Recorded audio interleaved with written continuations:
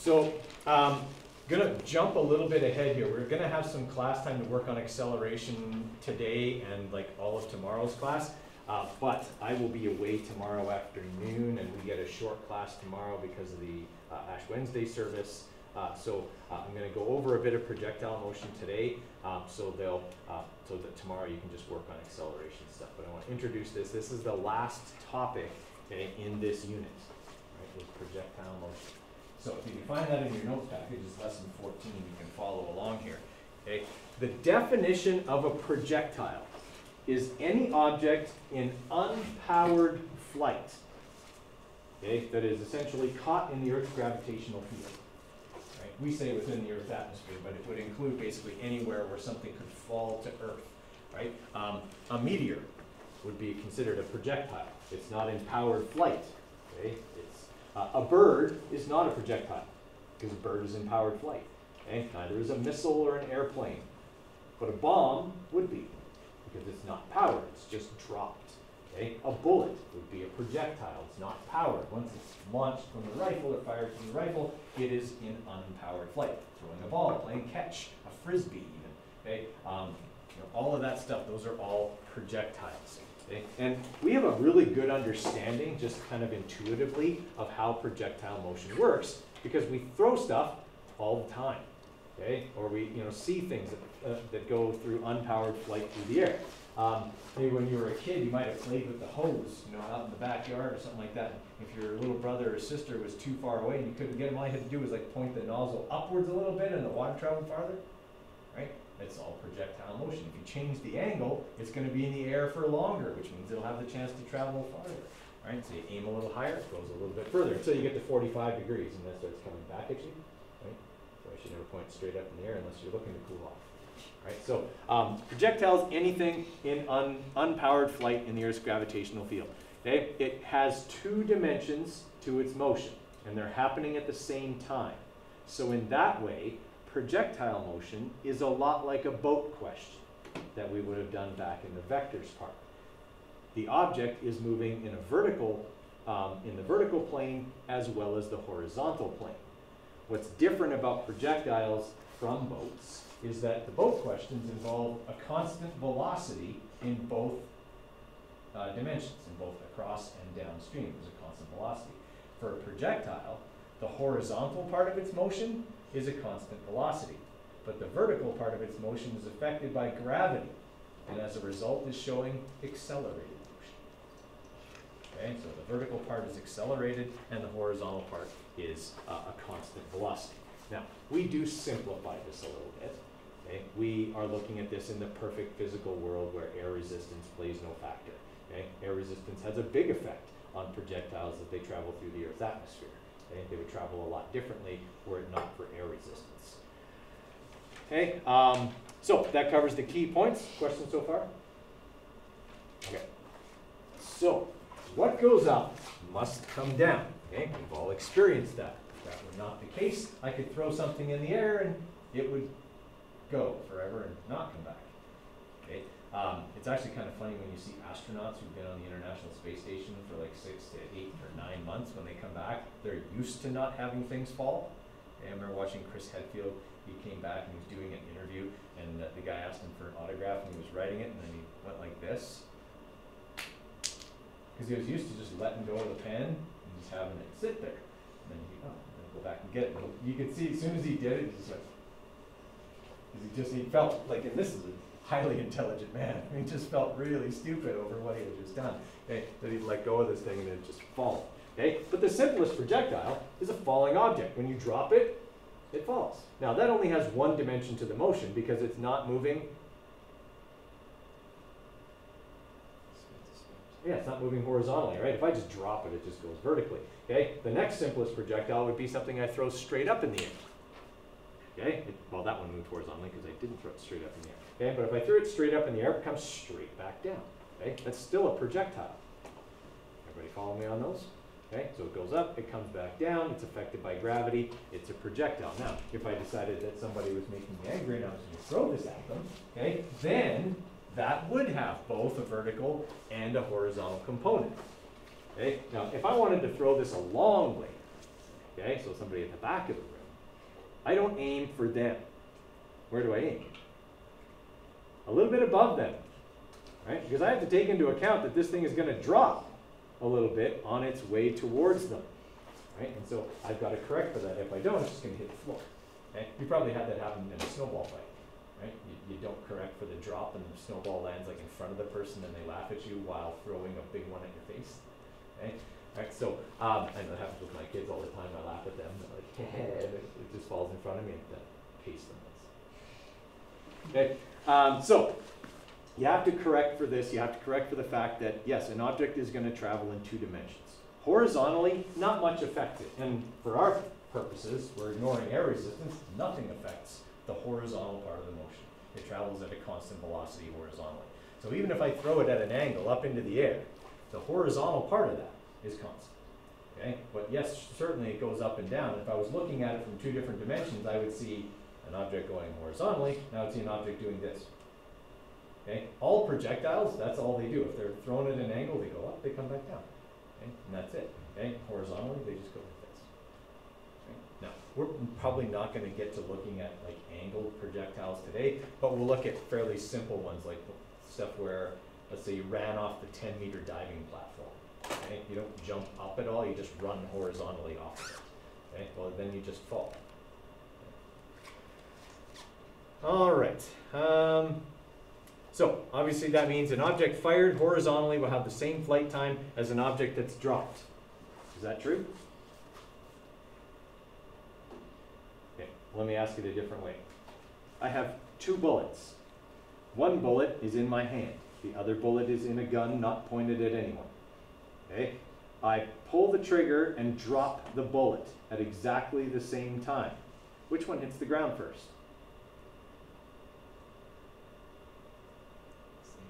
Same time. That's one people have a hard time wrapping their heads around. Okay? But the two bullets were the same distance from the ground. The fact that one's moving horizontally and the other doesn't doesn't affect how far how far they have to fall or how long it will take them to do that. They both have to fall the same distance under the influence of gravity. They will both hit the ground at the same time. Okay? Strange but true. Okay? The fact that you're moving horizontally doesn't change the effect that gravity has on. you. All right. Now, uh, yesterday we were talking about, uh, we, had that question with the bullet exiting the barrel of the gun, and bullets are really good examples of the first type of projectile motion we're going to talk about. Something launched horizontally. Okay? They just fall. Okay? So if you're firing a bullet, okay, you if you fire it straight, it just does this and curves down to the ground. And same if you throw a ball or any other object horizontally, it just goes down in an arc, a projectile arc to the ground. Okay, so if I want to hit a target, I have to aim above it slightly, as we were talking about before. Okay, the further away that target is, the more I have to correct for the drop. Follow so far? Okay, so yesterday we were talking about those longest sniper shots. Out of morbid curiosity, I looked them up. Um, of the top five longest sniper shots, three are Canadians. So there's something you can be proud of, I guess. Because that's pretty cool. Okay? Um, yeah, so three of the longest shots, and the longest shot is 725 meters longer than the second place shot. It's crazy. It makes you almost feel like it was a fluke. I would never say that to the guy who made it. All right. Um, so, everyone kind of following how this works? Okay, so the, the simplest projectile is just a dropped object. Second, second simplest, thrown straight up in the air. Okay, and then the third simplest would be the thing we're going to look at, which is an object that um, is launched horizontally. Okay, so let's say we've got this situation here.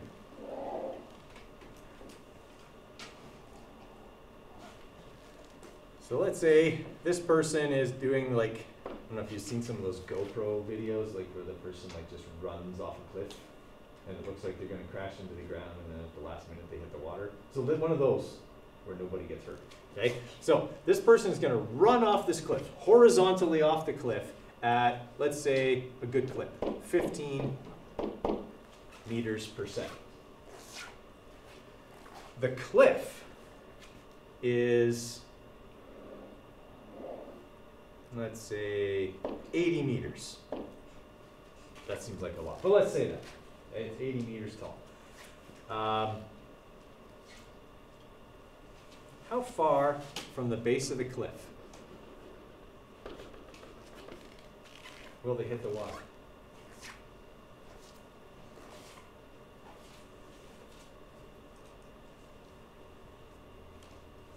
It's tough, right?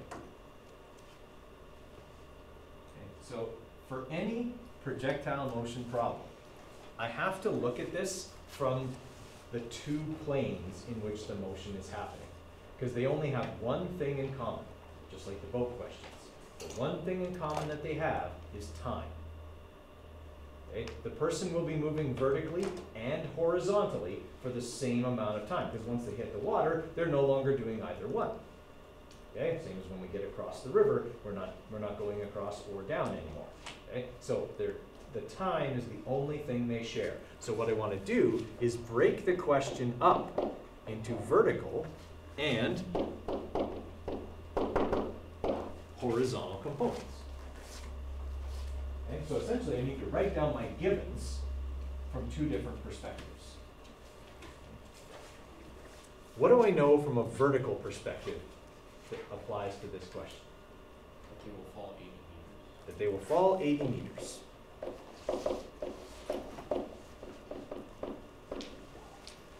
What else do I know?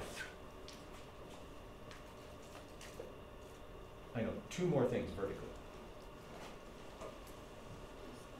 Hmm? Exactly. I know the acceleration.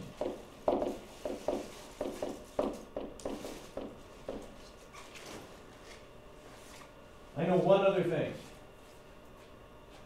This person ran horizontally off the cliff. How fast were they moving vertically at time zero? Right. Okay. They weren't moving vertically at time zero, they were moving horizontally. So their initial vertical velocity is zero. Alright, so I know three pieces of information about the vertical part of this movement. From a horizontal perspective, I know one thing. Well, I don't know that. I know this. I know they're moving at 15 meters per second, and that's not going to change. Okay? They're going to move at 15 meters per second horizontally the entire time. Does that mean that like, their overall velocity doesn't change? Absolutely not. Okay? They are going to go faster and faster vertically, but they're not going to go faster and faster horizontally. Okay? And that's in- incidentally why, when you see a car go off a cliff in a movie, okay, or something like that, it looks like it's initially all horizontal, and then it looks like they're only moving straight down. It's because initially, they really are only moving horizontally. But because vertically speaking, they're accelerating and going faster and faster, the vertical part of their movement becomes the dominant part very quickly. Okay, you mean you're accelerating at nine point eight one meters per second squared in a vertical downward direction. You're going a lot faster vertically than you are horizontally, pretty fast. Okay, does everyone kind of follow me there? So that's why that arc looks that. Okay, they want me to calculate how far from the base of the cliff the person's gonna hit the water. That's my horizontal distance. And we know that horizontally, their velocity is constant, which means this formula always applies to the horizontal part of a projectile's motion. Okay? Doesn't matter what kind of projectile motion it is, horizontally, the object's velocity doesn't change. So if I want to find d, what do I need? Time. Right. Time is the one thing that both the vertical and the horizontal part have in common. Can I find it with the vertical information? I can't. Okay, I've got D, I've got A, and I've got VI. This is where our acceleration stuff gets applied. Okay? What formula can I use here to help me get T?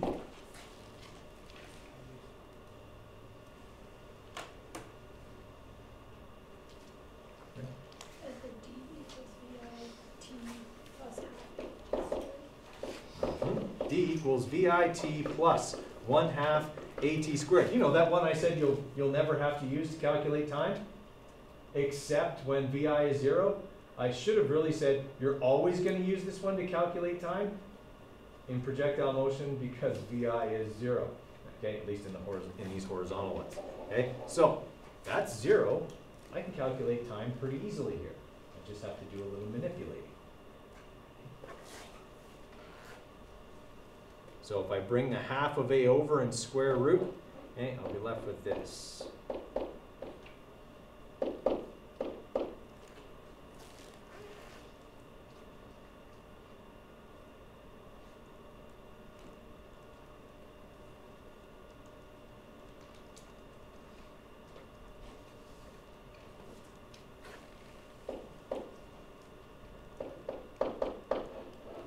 Okay, so they're gonna fall 80 meters. Now, since the 80 and the 9.1 are both down, I'm not gonna make anything positive or negative here.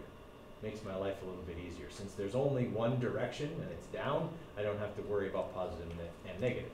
If it's launched at an angle, then there's some positive and negative I have to take into account. So in this situation for the vertical part, wouldn't VF also be zero? That's what a lot of people want to say. And you're right if I take into account after they hit the water. But we're only talking about this because they're only a projectile until they hit the water. So we're saying VF is the instant they strike the water, not after. Because after they start to slow down, you're absolutely right, their final velocity would be zero eventually because they would go down into the water. If this was a hard surface, it would be worse. Okay. All right, so we've got 80 divided by one half times nine point eight one. Now, I could make those both negative, it'll still work out fine, but I don't need to in this situation. All right, so we've got, um, the square root of eighty divided by, um, point five times nine point eight. Okay, so this object is falling for just over four seconds. Should I keep all those decimals? Yes, I should. And I'm going to carry them over here because time is the one thing that these two parts share. And now I can calculate how far the object will travel horizontally. In other words, how far from the base of the cliff the person will hit the water. Okay, so V times T, 15 times uh, 4.03, whatever, it's going to be just over 60. 60.5, I think we only have two significant digits in that question, so um, we'll say 61. 61 meters. That's a long way to swim back. At least the, the, the waves will help you. All right, that sort of making sense how something like that would work? There's, there's no new math involved here. Okay, you got v equals d over t, you've got your acceleration formulas that we learned the other day. Okay, so there's nothing new, it's just a different application of it. And you actually have to do both at the same time as opposed to two separate problems. It is kind of two separate problems. Okay. All right, so that's one way a question like this might get phrased. It might say, the person runs horizontally off a cliff, and how far from the base of the cliff do they land? Okay, another way that might go.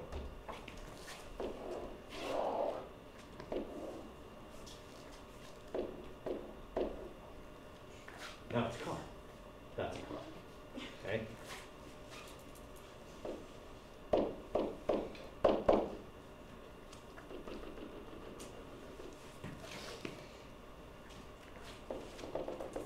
So this car drives off the cliff at 35 meters per second.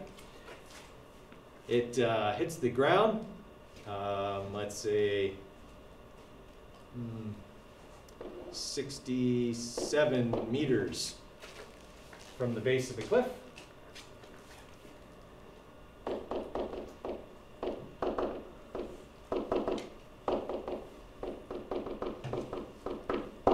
How high is the cliff?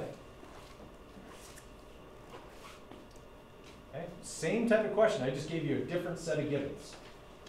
Right, so you're gonna have to do basically the same things, but in a different order. Here's the thing. In every projectile motion problem, the most important number is time.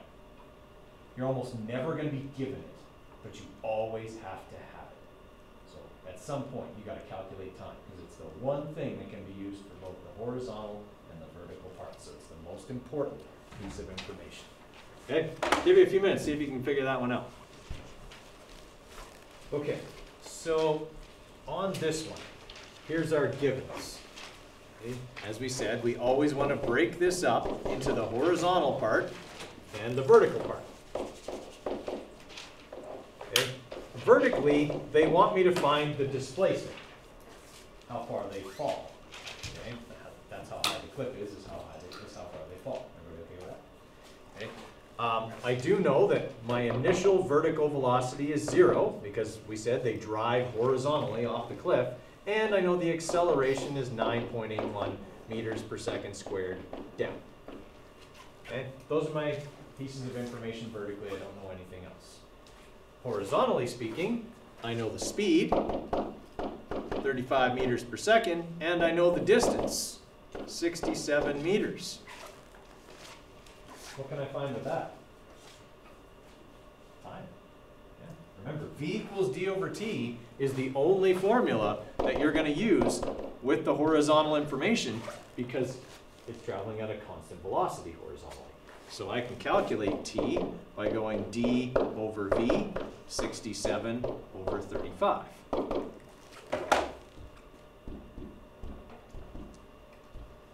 Okay, so this thing is gonna be falling for one point nine one seconds.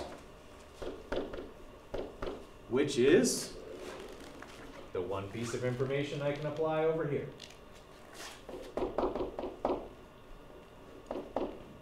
Okay, can I find my vertical displacement now? Yeah, which formula am I gonna use?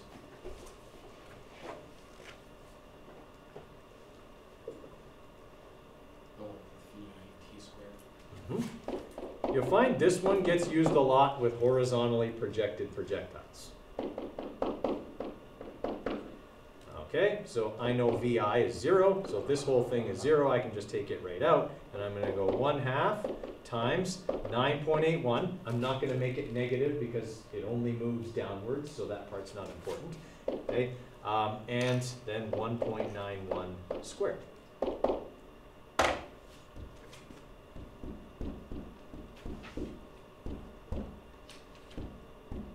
Okay, so I'm keeping all the decimals there. All right, it's uh, 18 meter cliff.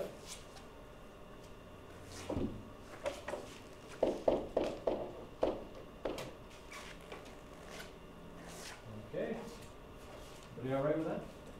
Okay. On your unit exam, I would put a question just like that.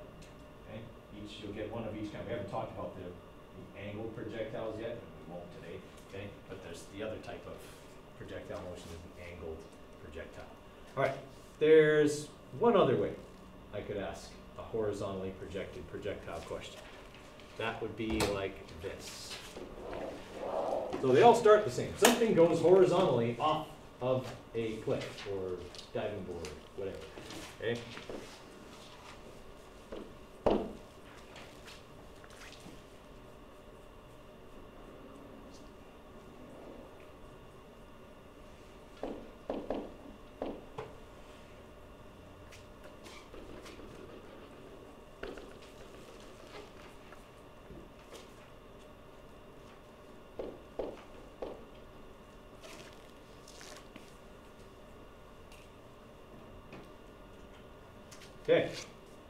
This object went off the cliff at an unknown velocity.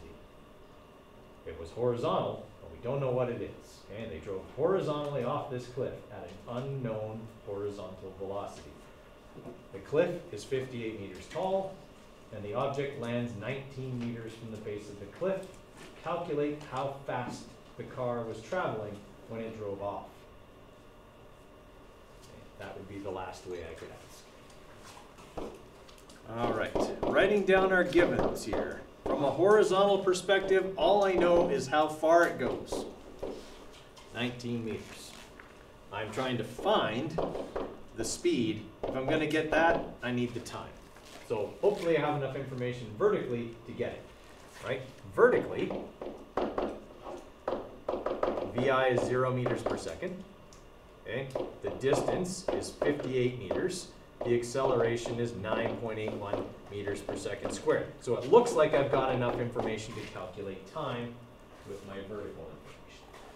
Okay, So, D equals VI times T plus one half AT squared, okay? Are these getting like pretty formulaic? Like it's basically always the same two formulas, right? It's just a matter of which order you do it in, right?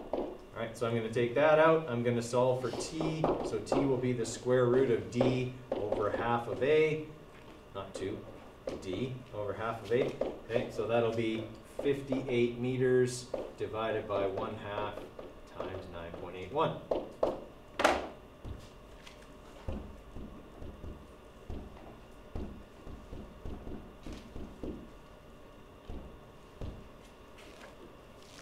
Okay, so, uh, we got 3.43, 3.44 seconds is our time for falling. Is gonna go right there, because it's the one thing that they share.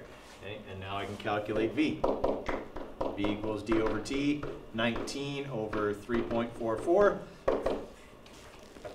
So this thing wasn't moving all that fast.